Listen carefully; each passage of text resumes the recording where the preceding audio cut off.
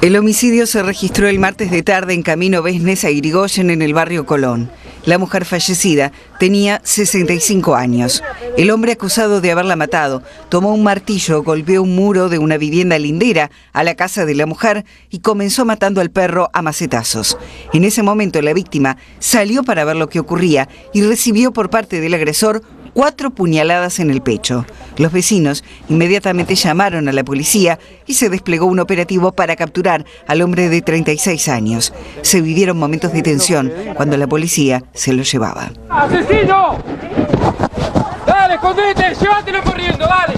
¡Llévatelo corriendo! ¡Llévatelo corriendo, dale! ¡Dale!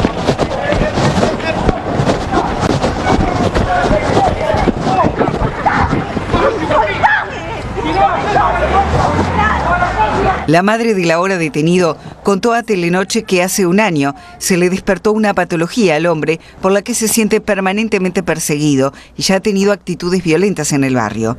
Por su parte, la hija de la víctima dijo que ya habían denunciado al hombre por actitudes violentas. Eh, es un problema de vecino. Él dice que yo lo monitoreo satelitalmente con cámaras, que escucho, que le mando radiación. Hace meses, un año que vengo con esto. Denuncia, denuncia. La comisaría de la mujer se me rieron en la cara, el comisario todos, viene la policía, se ríe, se ríe.